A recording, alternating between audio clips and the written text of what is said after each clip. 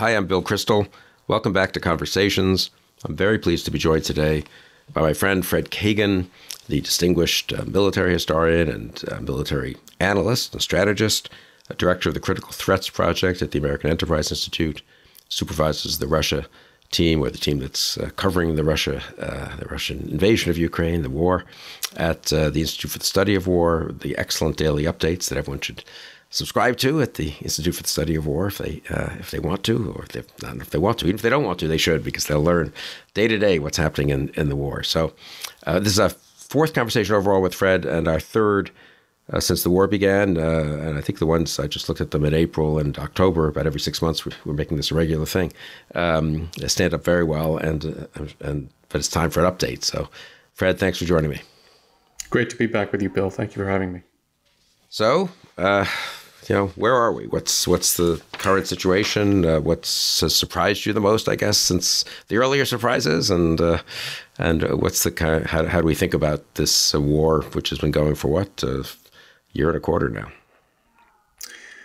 So the world is is holding its breath, waiting for the Ukrainian counteroffensive, um, and that's the that's the dominant phenomenon uh, on the battlefield.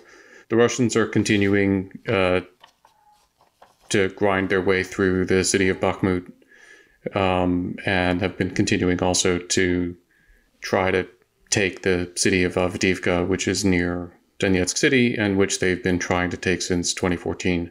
Um, and otherwise, the Russians have largely finally stopped most of their offensive operations elsewhere and seem to be actually focusing on preparing for Ukrainian counter counteroffensive.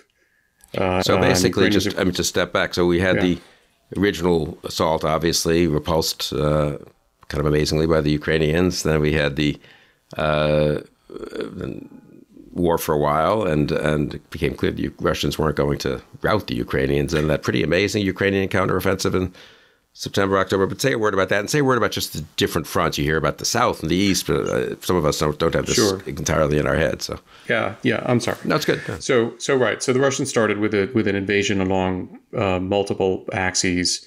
Um, in the from they attacked from Belarus and and uh, Western Russia, trying to get to Kiev. That obviously uh, failed completely, and then they withdrew. Uh, at the same time as they were doing that, they were also attacking in the east uh, and driving through Luhansk province in the northeast, um, and then driving south along the coast uh, of the Sea of Azov um, toward uh, the top of the Crimean Peninsula. And then they drove from the Crimean Peninsula north and then fanned out in, in three different directions. That was the initial Russian invasion. Uh, it was a bad plan. Um, and it gave the Ukrainians a lot of opportunities to push back, which they did uh, remarkably well. And of course, uh, defeated the attack on Kiev. After that, uh, the Russians focused their efforts on the east and south, uh, primarily, um, which turned rapidly into a focus on the east, and then they ground through uh, most of Luhansk uh, province while hanging on to gains that they had made in uh, in Kharkiv, which is the province just to the west of Luhansk. Um, and that had that had been their focus for most of mid 22. Um, then in late summer, going into fall, the Ukrainians started counteroffensive operations. They telegraphed them in Kherson, uh, in the south, um, at the mouth of the Dnipro River, um, and got the Russians concentrated on defending there. And as the Ukrainians were working on that, they launched a lightning strike in Kharkiv uh, with we now we now we know there were four Ukrainian brigades, uh, which will matter for the later part of the story. Um, routed the Russian forces in Kharkiv in a matter of days. Um, really, quite embarrassingly, in fact, um, Russians were completely surprised and unprepared, and elements of some of the best, uh, most elite Russian tank units uh, were there in Kharkiv. Uh, they donated something like 100 tanks uh, to the Ukrainians in their flight, um, which the Ukrainians have put to good use. Uh, and the Ukrainians actually chased the Russians almost entirely out of out of Kharkiv uh, at that time. And then they turned back to Kherson and were able to push the Russians off of the west bank of the Dnipro River. Um, and those counteroffensives were very remarkable. They were very significant. They were enabled by um, Ukrainian preparations, but also by the provision of U.S. HIMARS um, long range precision uh, rockets, which the Ukrainians used to extraordinarily good and innovative effect, especially in the south. Um, and uh, that changed the complexion of the war. Russians made a variety of changes, which we can go into if you're interested. Um, but the Ukrainian attacks culminated, um, and they they culminated in part because the U.S. and the West had been slow, way too slow, to provide the Ukrainians with the resources that they needed to keep those uh, counteroffensives going. Uh, that was unfortunate because it allowed the Russians to regain the initiative. Russians did a big mobilization uh, in the late fall, and uh, starting shortly after the new year, they leaned into the Russians did uh, what was supposed to be their major offensive operation of the winter, which was in Luhansk, and they were trying to push back to the Luhansk boundary and, and into uh, Kharkiv that's the counteroffensive, or that's the offensive operation that very few people heard about because the Ukrainians stopped it cold. Uh, that's where most of the Russian reserves went. That was the main focus of Russian efforts in January and February, and it, it just went nowhere. The Ukrainians just stuffed it. I'm, I'm trying to rack my brains, honestly, Bill, because I'm I've spent many years teaching uh, that there has never been a me- major prepared mechanized offensive operation that didn't penetrate the initial defenses of the enemy positions, which has historically, I believe, been true. The Russians may just have made a bad record in that regard. This may have been the first major mechanized offensive that actually was stopped cold and made virtually no gains. Um, it was really quite stunning. Um, while the Russians were doing that, we, they were also pushing in Bakhmut, uh, obviously with different forces, and the Ukrainians were defending there. We had the whole um, kerfuffle with the Americans and others having a lot of opinions about what the Ukrainians should and should not do. But in the meantime, the Ukrainians have been preparing, uh, with our assistance, um, the counteroffensive operation that we're all eagerly awaiting. And we are told repeatedly by Russians and Ukra- by Americans and Ukrainians that the Ukrainians have nine brigades prepared for this uh, counteroffensive, which again is significant because they, they routed the Russians in Kharkiv with four. So this is, uh, we're already talking about a counteroffensive operation on a significantly larger scale on the Ukrainian side. And it's also one that they have been preparing more deliberately uh, for a longer period of time. So I think it's important to keep that in mind as we talk about you know, people are very fixated on the Russian defenses and the Russian preparations for this. Uh, the Ukrainians have also been really getting ready for this. So, well, so let's just talk about that. I mean, what, what without giving away anything that you don't want to say, obviously, but what uh, what's your sense from publicly available data of this, the Russian situation, the Ukrainian situation? I mean, the the what should we be looking for over the next three six months to see whether this is how successful could one expect it to be or reasonably expect it to be or what would be the markers of success or failure? Um, I, am not going to talk about the ukrainian situation more than i already have. Um, the russian situation is not good. Um, I, there's been a lot of focus on the on the trench lines and dragon's teeth and obstacles the russians have have been laying all throughout the south um, it's important not to overstate the significance of those things. Um, it's there have been some particularly inappropriate analogies drawn to Verdun and other World War One examples, and that's nonsense. Um, it's it's nonsense for several reasons. First of all, there were no tanks at Verdun, and that matters. But second of all, these are not anything like the kinds of fortifications or trench systems that uh, both sides had developed uh, by 1915. Honestly, in the First World War, they're not as evolved, they're not as deep, they're not as extensive, but most importantly, they're not um, filled with anything approaching the force densities that we had seen on the Western Front in 1914. And this is this, or in, in the First World War. This this is an important point because trenches that don't have people in them are just trenches. Hmm. And a lot of these Russian positions, I think, don't have a lot of people in them because as we've as we've looked around and we ISW has published some uh, some great maps showing our and and orders of battle showing you know our assessments of where the Russian forces actually are. Um, they match what the Russians themselves say, uh, which is that they they do not have adequate force densities in various parts of the front to hold off a serious uh, mechan- Ukrainian mechanized counteroffensive. So, um, I, I, I think it's easy to be too impressed by uh, field fortifications, uh, and I think we need to we need to avoid that. The Russian forces are in terrible shape. They have been fighting continuously. They are um, their their initial units the initial professional soldiers, initial elite troops have been ground to pieces. Uh, ISW also did, done some great work pointing out that the Russian so-called elite forces are no longer elite.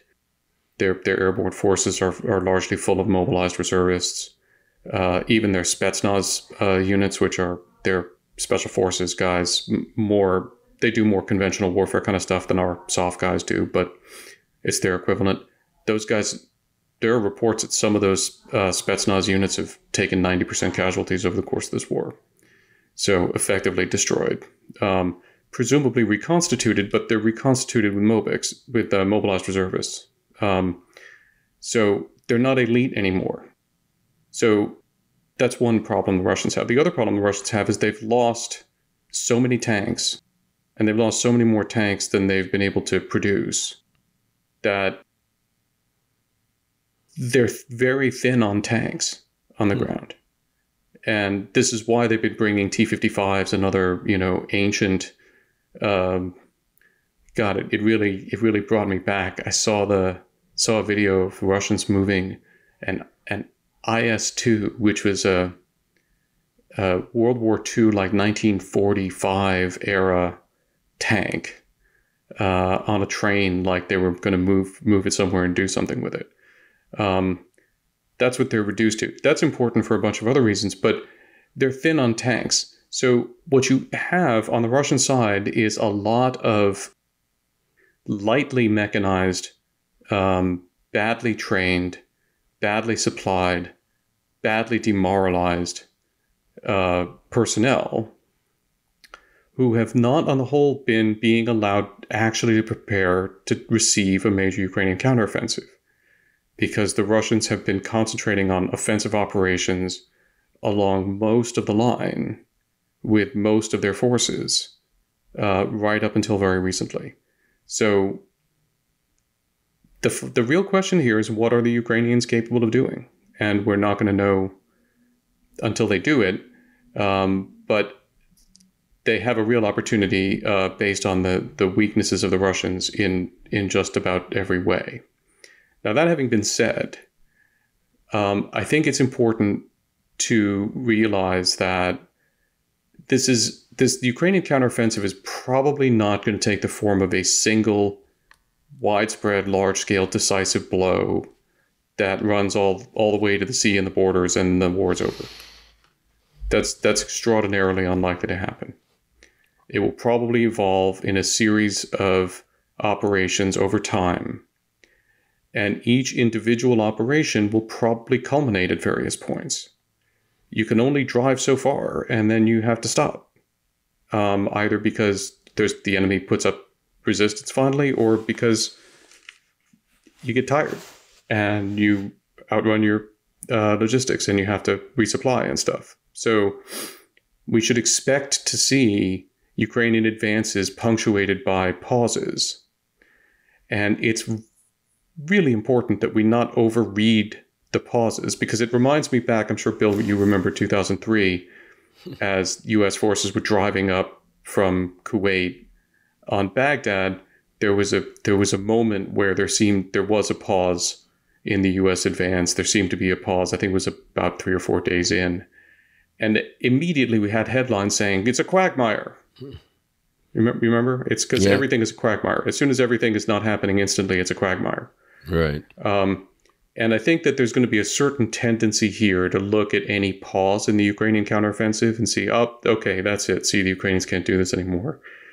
That's probably not going to be true. So we'll need to wait, wait, expect this to last some time, expect it to have some pauses, expect the Ukrainians to suffer some setbacks. Um, but I think that there's a there's a lot of reason to be optimistic that the Ukrainians can retake a lot of territory that matters and this next phase of the war, uh, I guess maybe the third phase, if the first phase was the Ukrainians re, re, you know, repulsing the Russians, and then the second phase, the kind of Russian, and then their offensives in September, October, I guess it was, and then the Russian uh, offensive. Uh, so maybe it's four phases. Anyway, um, this is months. I mean, three months, six months. We don't know, obviously, but ballpark, that kind of thing. I mean, when would we have a sense? When would you have a sense if we have a next conversation that things are we're in a new moment, or or we've sort of uh, we sh- we should be pleased by where we are, worried about where we are. What, is that a conversation for October? For well, I, look, I mean, I think if we don't know where we are by October, then something something very bad is going to have happened. Um, the Ukrainians are going to get the counteroffensive off in the coming weeks, which everybody seems to think that they will, um, you know, I think we will have a sense you know, within a month of when whenever they actually start the major phase of hmm. counteroffensive so that for quickly, how this is likely to go. Yeah, it's not. I think I think so because interesting. You know, look, fundamentally, either the Ukrainians are going to be able to penetrate the initial uh, Russian defensive positions and drive into the rear, or the Russians are going to be able to force them to grind slowly forward. Uh, that's going to be basically what what we're looking for. Keeping in mind that the Ukrainians might choose to grind slowly forward in certain areas in order to keep Russian forces fixed there or whatever. But at a certain point, if the Ukrainians don't break through the Russian front lines and start uh, driving rapidly, I think that's going to be an indication that this is not going to go as well as we would like it to. And in terms of materiel, um, the U.S. and the allies have. Uh, do you feel that we've done a very good job, pretty good job, insufficient job of providing what the Ukrainians need and deserve? You said earlier that in the earlier moment, you think they could have done more if they had had more uh, material from us. It's insufficient. Um, the the public reporting I've seen is that the Allies have provided the Ukrainians something like 230 tanks. Um, you know, let me contextualize that for you. The nine brigades that the Ukrainians reportedly have is the equivalent of three divisions. Uh, the tank division should have about 330 tanks in it. Hmm. Um, you know, so we should be, if you want to scale that down and say these are mechanized divisions, okay, should have 150 tanks in it. Um, that should be something more like 450, 500 tanks. Um, we're talking about half that. Um, that's unfortunate. That's um, we should have done better than that we've known for more than a year that there was going to be a requirement to do something like this. We were very slow to accept that we were going to have to provide Ukrainian uh, Ukraine with Western tanks. Uh, then we had a lot of alliance kerfuffle about who was going to provide what tanks uh, and when. And the net result is that the Ukrainians are going to go into this offensive, counteroffensive with uh, a lot fewer tanks than they should have. Um, they're designing the counteroffensive knowing that. Um, I don't think that it's necessarily fatal, but it's unfortunate, and it's the continuation of a, an unwise policy. I think within the the framework of a generally sound policy of supporting Ukraine. I think there's been an unwise sub policy of metering uh, support to Ukraine in ways that have protracted the war and and risk protracting it further. And I really do think that the whole notion of escalation calculus is backward in the minds of some of the people who are pushing for delays in this kind of metering because the argument has been you know if we if we give the Ukrainians too much western kit too fast then that's escalatory and the Russians might do something um, the problem is that giving the Ukrainians the this sort of this sort of titrated uh, kind of supply protracts the war, and the greater escalation risk is in the protraction of the war, hmm. because Putin's escalation options at this point are extremely limited and bad. Um, the longer this goes on and the more that we give Putin actually time a to realize that he has to mobilize Russia fully and b actually to do it, the more that he can start regenerating escalation options for himself. So I think the you know things that we're hearing out of the administration publicly suggest that they've sort of realized that that they need to focus on getting this over quickly, but they made that a lot harder for themselves by a lot of decisions that they made over the summer and fall and winter of 22. And how much of this was were decisions made for whatever reasons, presumably the reasons you basically sketch out of, uh, and how much of it was constraints? I mean, that they just we don't have a defense industrial defense industrial complex we once have. We have allies who did need to be brought along more slowly, and, and so forth. Um, we have M1 tanks that we could give the Ukrainians. We have lots of tanks, and, and a lot of them aren't. We don't anticipate using them in the next year or two, right? This is the scenario that we're holding them for primarily. Yeah, right. We, we built up a huge military for the sake of fighting a war in Europe. We didn't have to fight a war in Europe in the Cold War, or, or since then, really. Uh, and so now we have a war. Right. Now we have a war in Europe, but we're waiting. What are we waiting for? The war, the, the ground, the land war in Asia. I don't know. You know. Well, right, exactly. I mean, the one thing that I'm confident the Taiwan scenario is not going to need is a lot of M1 tanks. Yeah. Um, and you know, I, the Biden administration has made it clear what how enthusiastic it isn't for fighting a war in the Middle East. So, you know, what what are we holding them back for? Um, no, the issue is we had a whole bunch of we didn't. I, I, I don't even want to speculate about all the theories, but we have M1 tanks. We we could have provided a lot, and we are providing them now. But and this has been this has been the of course the thing that makes it a little bit hard to take a lot of the administration excuses about delays seriously because we have a whole bunch of excuses about how we can't do this, that, and the other thing, and then some months later it turns out that we can.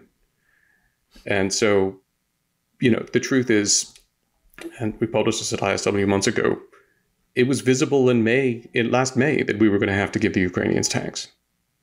And if we had started actively getting ourselves ready to do that, we would have been able to do it in a timely fashion, but we were, on the contrary, deciding that we weren't going to do it. And we keep making, we keep having these discussions. We keep saying, well, okay, F-16s, there's, it, it's too hard. There's a lot of, it'll take a long time to do, to, you know, to get the Ukrainians able to use them for various reasons. Some of them technical, actually real technical and stuff. Like, okay, fine, get ready. Right. So get get after it because we're, we're ultimately going to have to re-equip. This is the thing we need to work all the way through our minds, and we're this is for some reason we're having a really hard time with this. We are going to have to fully re-equip Ukraine with Western systems. That is a fact. If Ukraine is going to have a military over the long term, it is going to be a military equipped with Western systems for the excellent reason that the Russians are not going to sell Ukraine Soviet systems. Right? right? I mean, pretty clear.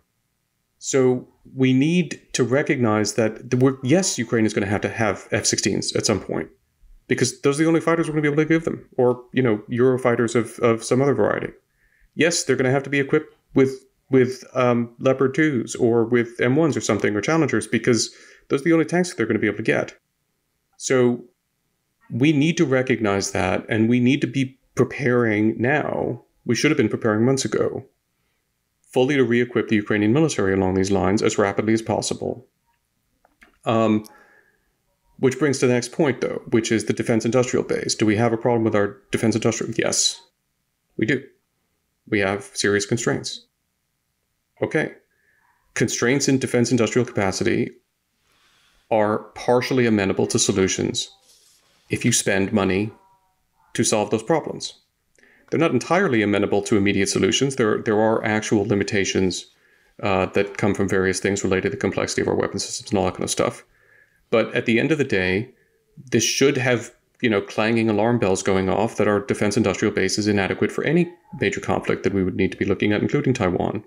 And the solution to that is significant expansion of the defense budget to address uh, the need to strengthen the defense industrial base. Has the administration undertaken to do that? No. It hasn't fundamentally, and this is this is uh, a, this is a big problem. Yeah, that's what strikes me. We discussed this, I think, in the last conversation. The administration has done a, I think it's oversimplified, a pretty good job in dealing with the immediate situation, though, as you say, they were slow on and remain, and that was we paid a price for that in terms of the actual arms they sent. But it doesn't feel to me like they've thought to themselves, "This is the beginning of a new world." Where maybe it's not really a new world, maybe we should have seen it coming before in 2014 and so forth. But whatever, this is the alarm bell. Let's just put it that way. And we need to do all kinds of things. Uh, before I was critical of, I've got, I want to ask you about this, uh, of them on energy for not also being mm-hmm. serious enough about that. I think I might have been a little wrong about that, that they did more behind the scenes or maybe we got lucky over the winter, or the Europeans did more. But I'm, I'm curious in general on the kind of let's just take a minute on the uh, thinking about the new world challenge we face. Uh, I want to ask you say a word about energy if you want. Say a word about Europe, and just on the other, on this last point you made, I, if I can uh, go on for one more minute. What's of course I'm going to say funny isn't the right word. What's ironic is if you don't want to give the Ukrainians a ton of weaponry, then we can fight. I mean, we in the Europe, you know, then let them into NATO. I mean, seriously, the alternative to giving them F-16s yeah. is for us to fly F-16s, which Right. I mean, maybe that's fine. I mean, you know, we're good at flying F-16s, and you know, I'm sure our pilots would be happy to d- destroy Russian forces because they're horrible. You know, they're committing horrible war crimes and so forth. It's a just cause. But it's a little crazy to say we're never going to use your American troops, or it's not. A, we're not going to let Ukraine into NATO. But we're a little hesitant about sending them, selling them stuff, unless you think Russia's going to change or Putin's going to be thrown uh, ne- out, out, of power next week, which would be nice. But you know, unless you think the security threat goes away, or we don't have to deal with it, it is kind of weird to sort of be so hesitant to supply the front line that's facing the actual, real, uh, existing security threat more than threat. You know. No, that, that, you look, you're you're exactly right. We are speaking very cynically, and I think we've talked about this before. I'm not, you know, I'm not super happy about the this as a moral ethical position, but as a geostrategic position, the the United States and the Western Alliance is in principle in a very happy place right now because we have been concerned about a Russian military buildup. Uh, we have been concerned about the ability to defend NATO member states, um, particularly the Baltic states, which is a very difficult challenge. Um, and we've been thinking about what we were going to need to do in order to deter Russian attack and defend against it, uh, all of which was going to involve having American and NATO troops actively preparing to fight uh, Russian troops and execute a variety of scenarios. The Ukrainians are in the process of destroying the conventional Russian military. And it's not a proxy war. The Russians initiated, the Ukrainians chose to fight it. It's not like we goosed the Ukrainians into defending their land. Um, but the Ukrainians are executing uh, the theater contingency plan that we, in principle, been preparing for and should have been preparing for. That's, again, very cynically, that's great for us. And we should be leaning into helping the Ukrainians complete that uh, process and weaken the Russians in a way that will make it take a lot longer for the Russians to reconstitute. But here's the other thing the Russians probably will ultimately reconstitute. And I think it's unlikely, the, you know, the least likely scenario is that Putin goes and is replaced by another Gorbachev or another Yeltsin. That's the that's the least likely scenario at this point. The likeliest scenario is that when Putin goes, and he will go, we also need to get that through our heads. Um, when Putin goes, um, he will probably be replaced by somebody who shares his ideology. And that ideology is going to be hardened uh, toward avenging this defeat.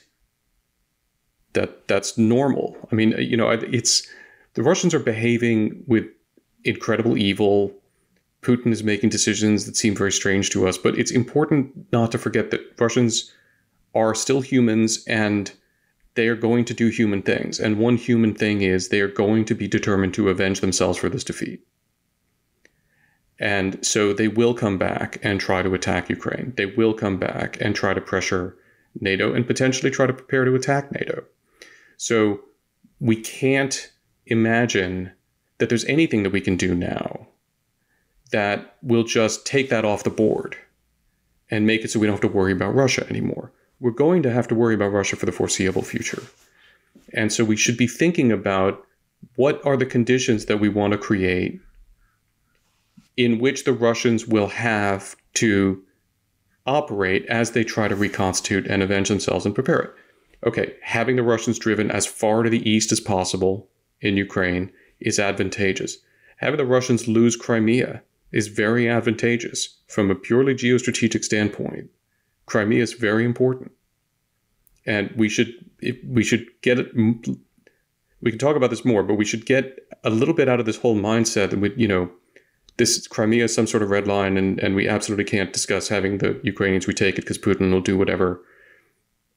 And that may be the conclusion we come to, but we need to recognize that it's actually super important territory. Yeah, say a word about that because I do feel like Crimea yeah. is just there are a lot of Russians. It was you know the Russians are, have an yeah, attachment to it, and therefore it's off the table or something. But talk right, about it as an actual right. strategic matter, not as simply a you know. Right. Yeah. So the the issue, I mean, apart from the fact that obviously has the base for the Black Sea Fleet, um, if the Russians are in Crimea they pose a much more significant threat to Ukraine over the long term than if they're not in Crimea, because the, the way the geography works out, that allows the Russians to be in position continually to threaten the only uh, access that the Ukrainians actually have to the sea, the route by which most of the grain is exported to the world, and and and all that sort of stuff. So they put it. It continues to hold Ukraine continually at risk um, in a way that's very serious and very significant. But if we forget about Ukraine for a minute, the difference between the Russians have Crimea and they don't have Crimea is a difference of a couple of hundred miles uh, that the Russians are closer to or farther away from the southeastern NATO flank.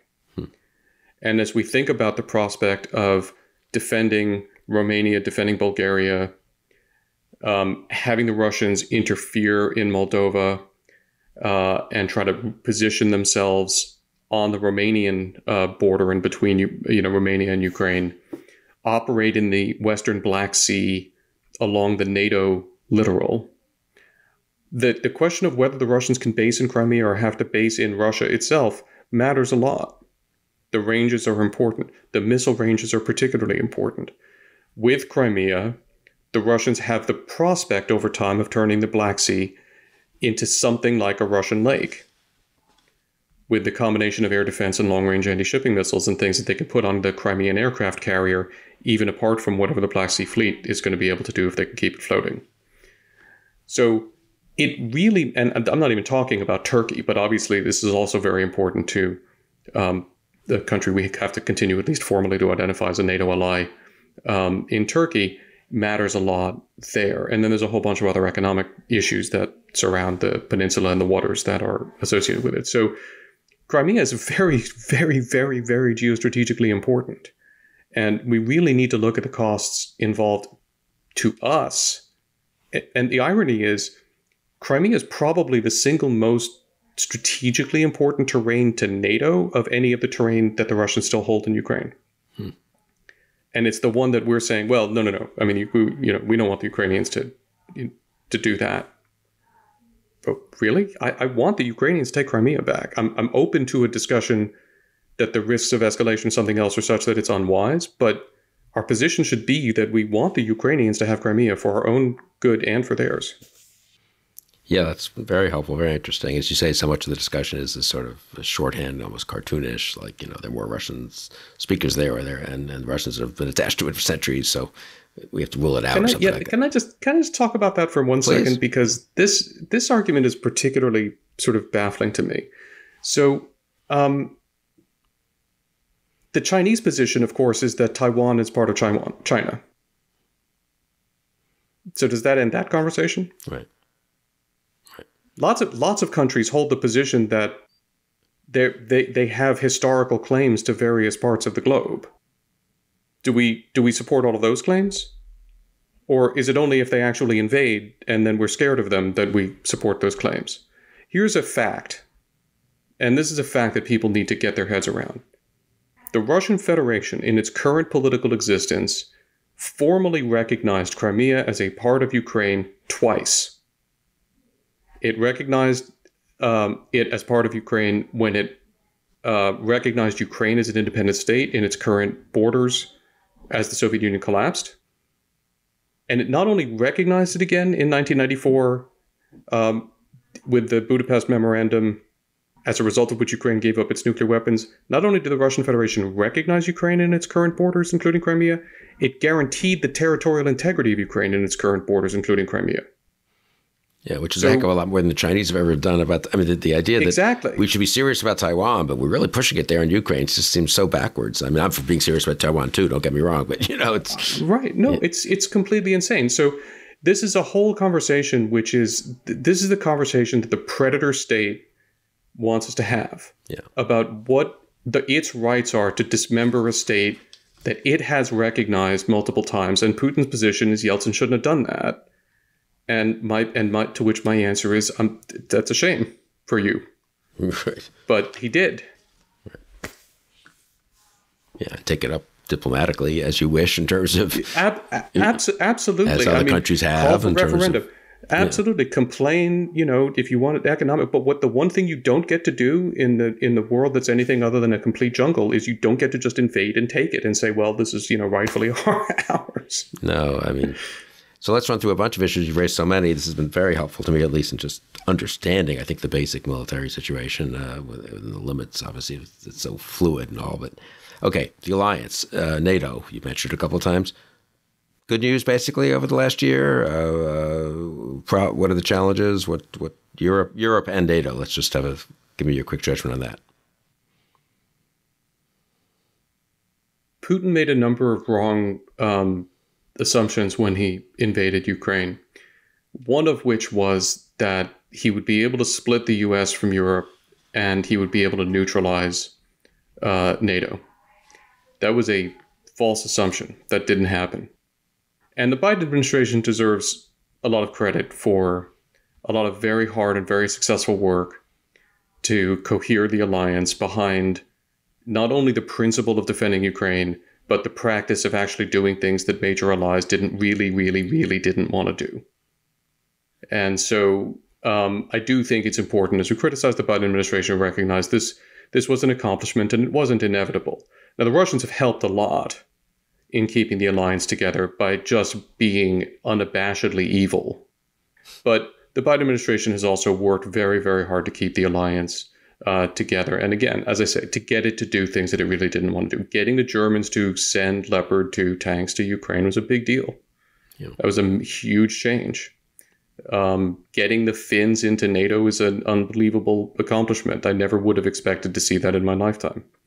Um, if uh, things work out in Turkey such that the Swedes are end up in NATO, that'll be in some res- in some respects almost even more remarkable. Um, that's all very good news. And the, the alliance has held together uh, remarkably well for a long period of time under a lot of strain. Coming back to the energy policy, Biden administration did actually do a lot of things that I think surprised some people um, in terms of helping the Europeans offset the loss of Russian uh, natural gas um, and get through what was fortunately for us a mild winter in Europe. Um, and does seem to be helping the Europeans to decouple sort of permanently from from the Russian energy supplies, which will be a huge geostrategic shift in our favor, uh, which is which is a good thing. Um, yeah, that's an important I thing, that, and not not an expected oh, yeah.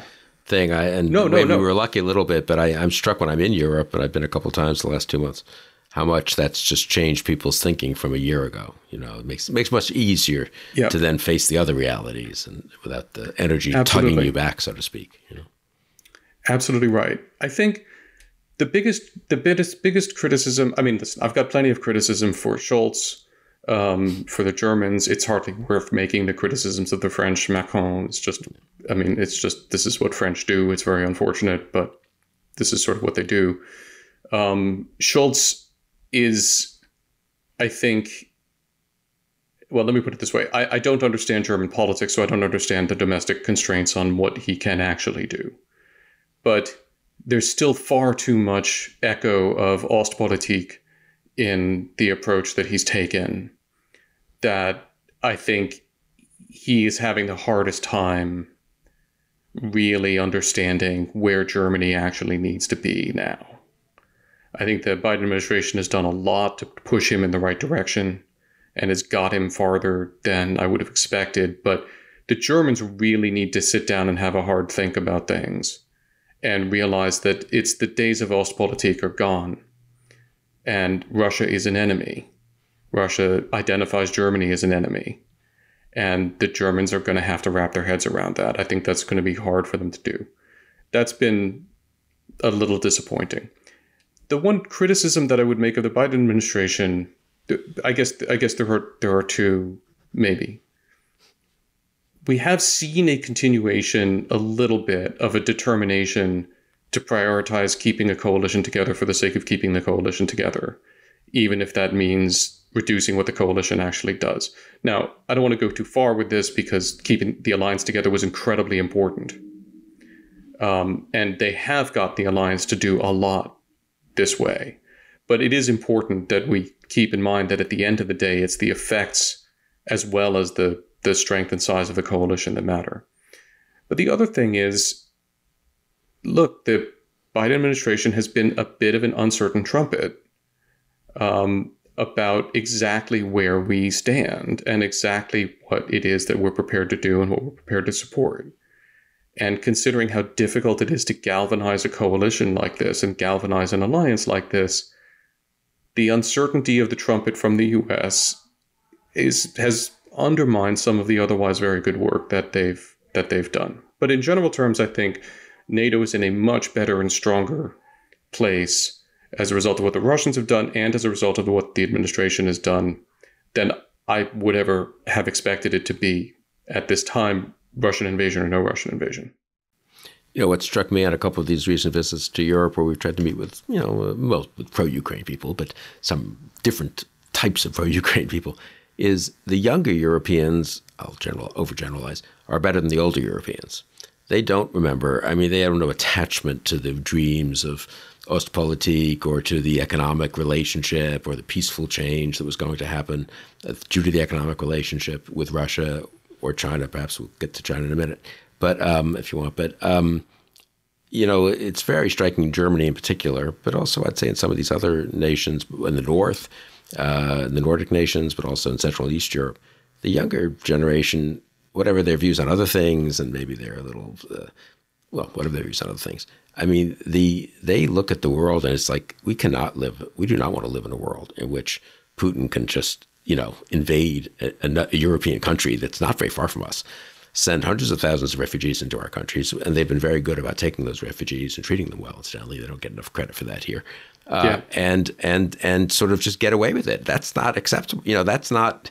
And so they are in a way much see, I think, much more clearly. And this includes German Greens, who 15 years ago would have been semi-pacifist, and you know, and um, I mean, it, in fact, it's even more noticeable, I'd say, on the center left of the European political spectrum. Some of the Social Democrats, but but some of the younger CDU people in Germany, but the center, and also the other. This is I don't curious what you think about this. The Biden administration so understandably, it's the way the State Department works and so forth, prioritizes Berlin and Paris and its dealings with Europe and to some degree Brussels. And uh, I think Americans don't realize how many impressive voices there are in Europe, in the Czech Republic and Estonia and Finland and so forth, and how much those countries are doing and that we should feel proud to be part of this alliance. Many parts, many, not all of whom, never is the case, right? There's always laggards, but many of whom are doing a heck of a lot, and many of whom are right there on the border and at some risk, you know. And um, I don't know. I feel like that's been a bit of a, a the Biden administration hasn't taken advantage of that as much as they might have back here. And as you said, the Biden administration's own slightly uncertain trumpet has an effect back there in Europe. So if you're a German politician, you you're willing to kind of go pretty far for being Ukraine, break a little with Scholz if you're a social democrat, which is a little risky, obviously, for political reasons. He's the head of your party. But, you know, are you really going to break with him if the administration is just going to, if the U.S. is going to retreat six or 12 months later? So there is a bit of a, right. either a vicious cycle or a virtuous cycle, depending on which way it, it goes. No, look, uh, you're, you're absolutely right. I think the frontline states uh, on the whole have been amazing. We have a look. We have a problem with Poland, which is that we we have issues with the current Polish government, right? And we should have issues with the current Polish government. There are there are issues to be had with the current Polish government. Um, the Poles have been amazing um, in taking in Ukrainian refugees and being the base of support for all of this. And they and the Baltic states have, um, have really had some very good uh, strategic thinking about the importance of all of this, and they've galvanized a little mini coalition within a coalition over there that's done very, very important things for Ukraine. Um, and we do get too caught up in counting tanks and uh, counting just you know pure dollars and underestimating the importance of what the Czechs have done, what the what the Balts have done, what the Poles have done, um, what the Brits have done for that matter, um, and and getting you know getting too fixated on the on the Germans. Um, you know that having been said, when the urgent requirement is for lots of stuff, um, you have to go to the places who have lots of stuff, right? Um, and that's you know that's that's that's been our focus. Um, I do think over the long term, working to strengthen the uh, ties between the Eastern NATO partners and the Western NATO partners is important. I think those ties are always going to be fraught because the, the Eastern states are, you know, appropriately focused on on the threat to them. The Western NATO states, it comes and goes. Um, that's always been true. So I think we that's going to be something that um, I suspect we have been working on, but that we're going to need to work on even more. There's one other aspect of coalition dynamics that I think is very important to call out here, though, to, to expand this discussion beyond Europe. What the Japanese have been doing and what the South Koreans have been doing is remarkable. They have identified Ukraine's cause as their own. They have leaned into helping uh, support the countries that are helping support Ukraine. Um, when the Japanese prime minister goes to Kiev, that's a really remarkable statement. It's also a really remarkable repudiation of the notion that somehow this war is irrelevant to Taiwan or a distraction. Right. Uh, it's fascinating that the the people who most think that's not true are the Japanese and South Koreans and the Taiwanese, who totally see this as centrally tied up with Taiwan. And we might ask ourselves, why is that? Part of it is, of course, you know, Russia's a Pacific power, and the Russians have been demonstrating, you know, just did a bunch of exercises in the Far East to remind everybody that they're also, in theory, a Pacific power and, and aligned with China. So it's not the case that what the Russians do and where they are has nothing to do with Asia. It does actually have something to do with Asia, but that's not that's not the real issue. The real issue is that Taiwan has a chance of remaining free as long as the United States is prepared to defend it. And if we're not prepared to defend it, then it's going to be very hard for to, to imagine how the Taiwanese can defend themselves against a you know country of 1.4 billion uh, people or whatever the current Chinese population is. The whole world and the whole Asian Rim is looking at us to see are we prepared to spend money to allow the Ukrainians to defend themselves and are reflecting on the question that if we're not prepared to spend money to let the Ukrainians fight, are we going to spend blood to defend Taiwan? Since that's the that's what would be required. So there's a very very direct correlation here that our Asian allies absolutely see. They also see the principle at stake. It's the same principle you you you identified young people in Europe seeing if if we allow the Russians to establish the principle that threatening to use nuclear weapons as part of a campaign of aggression will actually back off countries that are committed to the defense of the victim. The Chinese will draw exactly the same conclusion. The Chinese also have a nuclear arsenal and can threaten us. So, for lots and lots and lots of reasons, our Asian allies regard the outcome of the Ukraine war as being incredibly important to them. And they are working to solidify a relationship with our European allies that could, if we develop it properly, help us in deterring a Chinese attack on Taiwan as well. Not because I would imagine our European allies sending military forces there, but because, and this is a whole other conversation topic that I've been working on with uh, my colleague Dan Blumenthal at AEI on a project we're working on together about how to defend Taiwan. The one thing that was also been very clear is that Xi Jinping is more worried about alienating Europe and driving Europe away and getting himself cut out of the European market than he is about aggravating Putin. That's been very, very clear. That's a very important data point as we think about ways that we can persuade Xi that attacking Taiwan would be unwise. So this is the other part of what the Japanese and the South Koreans and the Taiwanese are working to do is to establish strong relations with the Europeans such that Xi Jinping really will have to think about the consequences in Europe of an attack on Taiwan, which may be one of the best ways to deter that attack. Yeah, and also to deter him perhaps from helping Putin more than he's going to do some Absolutely. stuff, and he is doing some stuff. But I do feel that maybe the Biden administration plus the Europeans have done a little more than people realize to. Maybe it's just lucky, but I mean, Xi could have done much more to help Putin, and, oh, we, yeah. and, and, it could have really damaged Ukrainian prospects in the war. And on the whole, but correct me if I'm wrong, my sense is on the whole, he hasn't. He's held back, and he either that's right.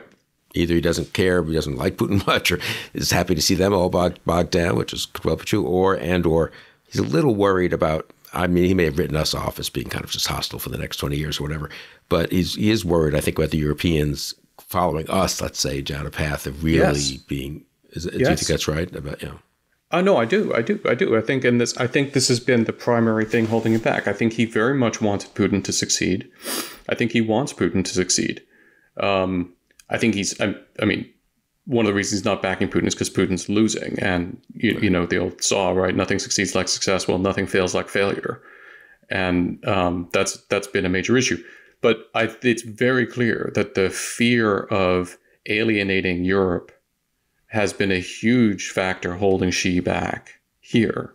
And we have been working that. Among other things, the Biden administration has been making it very clear that we're not prepared to give the Chinese a pass on violating sanctions. That we are we are prepared to come after them if they do that, which has implications for the Europeans. And it does show a degree of American leadership in terms of standing up to Xi that I think is very important.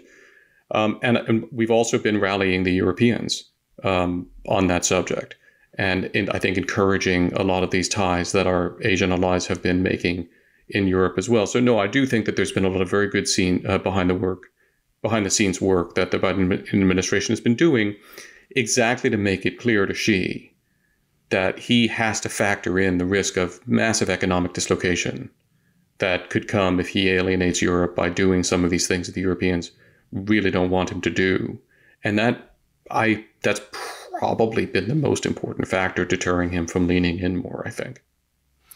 Let's look forward. I mean, what does relative success look like? And, and is it possible without some kind of security guarantees to Ukraine, whether Ukraine has 100% of its territory back or 95% or whatever? Let's just say the, the ceasefire is accepted or it just happens in a sense.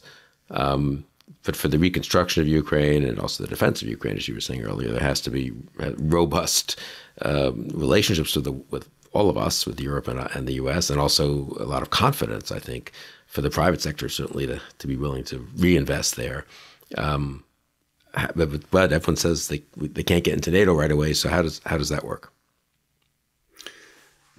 Well, look over the short term what we most need to focus on, I think, is the is the program for reconstructing Ukraine and re uh, rebuilding the Ukrainian armed forces and giving the Ukrainians the defensive, and I do mean defensive capabilities that they need uh, to deter uh, a future Russian attack. Um, it matters a lot where the lines are frozen. Mm-hmm. Uh, if the lines are frozen anywhere near where they are now, the Russians are going to be in a much more advantageous position for a future attack it's going to be much harder to uh, figure out how to um, create a really effective Ukrainian deterrent. And it's also going to be a lot harder to reconstruct the Ukrainian economy, um, since a lot of the territory the Russians now occupy is actually essential to the Ukrainian economy. So, for all of those reasons, success has to look like the Ukrainians regaining a very significant proportion of the territory the Russians are currently occupying, especially the territory beyond the 2014 um, lines. I've said what I have to say about Crimea. It's it's important. Um, it's not necessarily existential, um, but it it matters a lot. But security guarantees.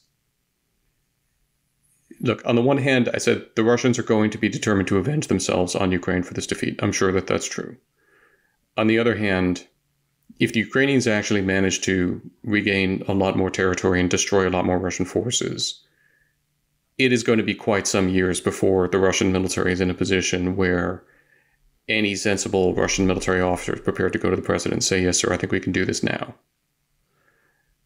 So that creates a window. And in that window, the West needs to step up and help the Ukrainians make themselves the porcupine that they can be and make sure that we never allow there to emerge a window in which it looks like the Russians might have a relative advantage uh, in the military, you know, military reconstitution, such that they might be tempted to try this again. That's how we avoid having another one of these in a few years, is by building up the Ukrainian deterrence um, rapidly.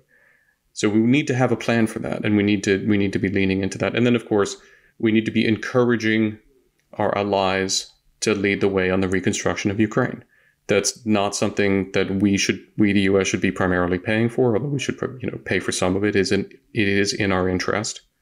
Um, this there is a Marshall Plan here where Europe need where Europe needs to do a Marshall Plan, and our Asian allies need to help um, with the Marshall Plan to reconstruct Ukraine uh, properly and avoid, and this is important, avoid the danger that the Chinese will think uh, to offer the Ukrainians attractive reconstruction um, money and try to get themselves in there.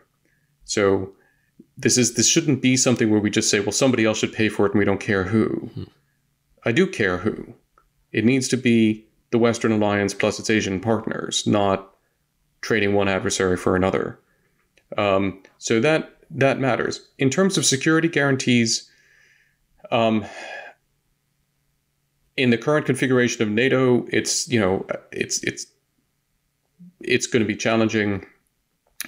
I think the more that it looks like Ukraine can defend itself, and the more that it looks like Ukraine is a net asset to the alliance, um, and the more that it looks like a war with Russia is unlikely and made even more unlikely if we bring Ukraine into the alliance, the easier it will be actually to get Ukraine the alliance protections that I think it needs.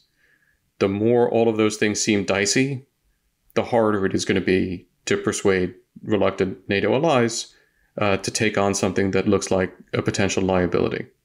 So I think these things are intimately interconnected. If you want, as I do, to have uh, Ukraine gain the alliance protections that I think it should have and make the contributions to the alliance that I think it can and would, we need to help Ukraine develop the military and economic capabilities that it needs to be able to come to NATO and say, the Russians are not going to be invading us anytime soon.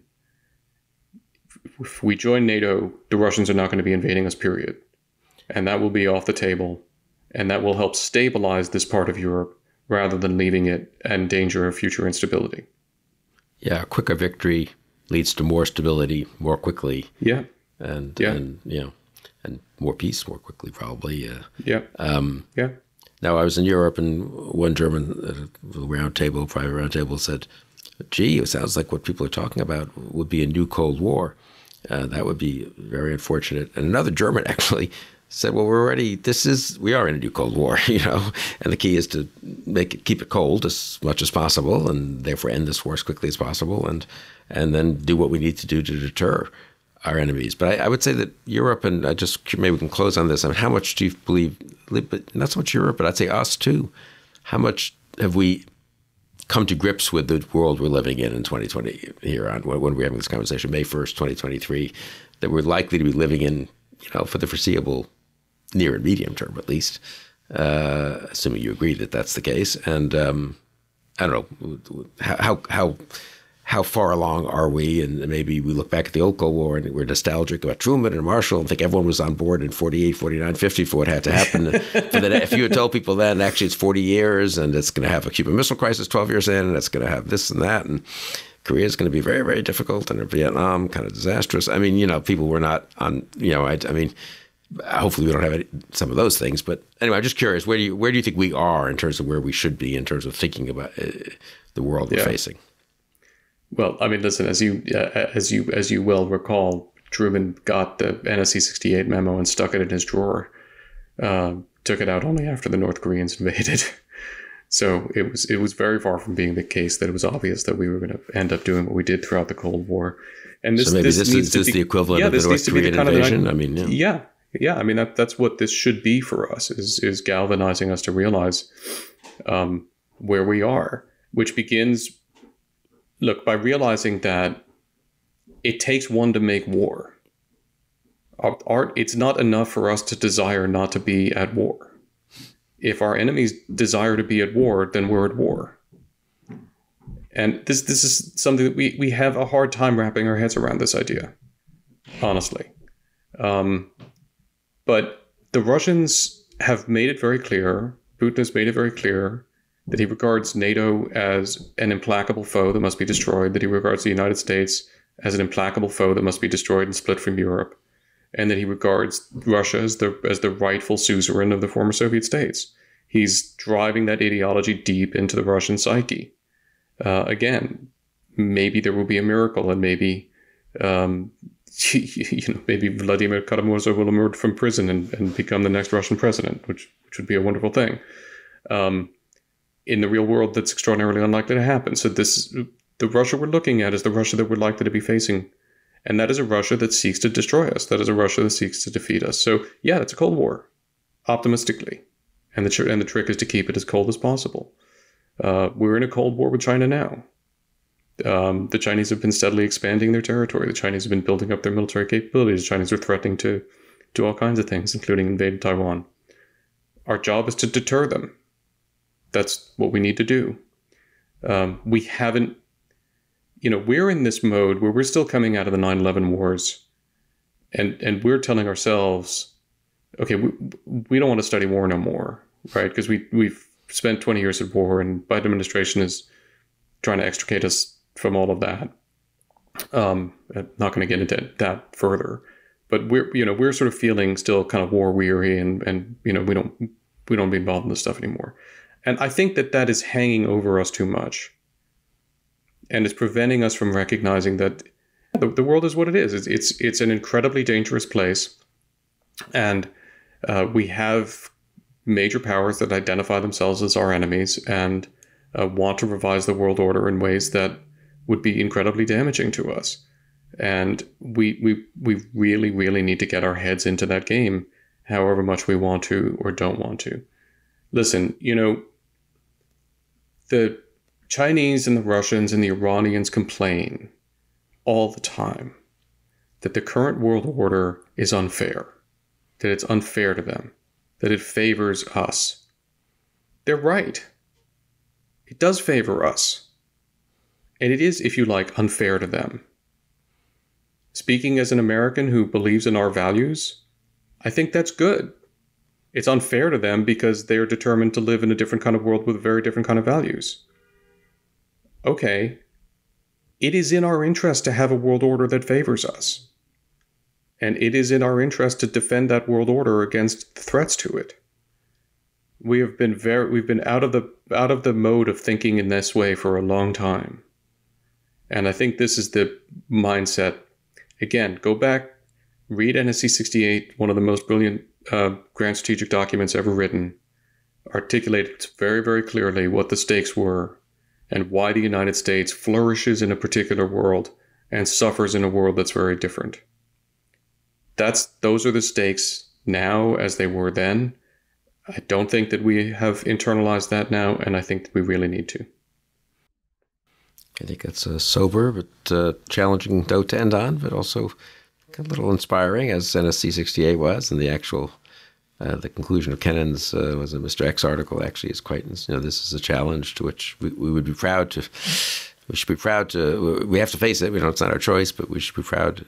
We would. We will be proud later if we have faced it adequately, and I think that's very much the the case with Ukraine. And of course, uh, maybe a little. Well, then we had some things to inspire us too in the behavior of some of our friends and allies. But really, the Ukrainian behavior, I do feel like the, the, the, yes. has been truly inspirational in a way that's rare in, in human history. I agree. I, I agree. And the, the, this war all along has shown the strength of a free people uh, fighting against an enslaved population and the strength of a decentralized, robust civil society against a vicious, brutal autocracy. Um, that is a lesson that we should take close to heart. And by the way, Ukraine is a very flawed country. Um, it always has been. Um, looking at it before the war, a lot of people were very reluctant to believe that the Ukrainians could do anything effective because of all of their flaws. Look at they've they've done the most amazing things that anyone could ever possibly imagine. Um, we ought to reflect on that also as we as we become preoccupied with our own flaws, hmm. um, and consider, you know, I, I don't think we should write ourselves off quite yet. I'm not sure that we would measure up to the Ukrainian standard, um, but I'm I'm not prepared to say that we wouldn't if we faced a, a similar existential threat. Well said. I, I, agree with that. That's really a great note to end on. Fred Kagan, thank you uh, for everything you've been doing, honestly, for the last year and a quarter in terms of the, the war in Ukraine. And uh, thank you for being, uh, being with me today. Thank you so much, Bill. And thank you all for joining us on Conversations.